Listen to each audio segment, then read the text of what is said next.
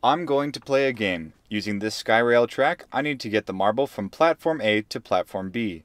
Right now, the marble is going nowhere. However, as soon as I add an inclined slope, the marble is no longer stationary.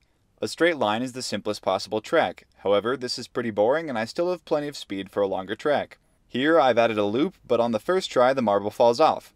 It is pretty shaky, so I'll add another support to it. The marble still falls off, but if I make the loop smaller, it works perfectly. There is still a lot of speed left. In fact, it's almost too much speed. If I add a turn, the marble flies right off. I need to slow the marble down. One solution is to put a wall at the edge of the curve, but this is pretty haphazard. The best solution to slow it down is to raise the curve section. Once it makes it past the curve, there is still plenty of energy left over to power the marble through whatever I want. Making it work is simply a matter of trial and error. You can see here I've added another drop, a figure eight, a bunny hill, a helix, and a zigzag.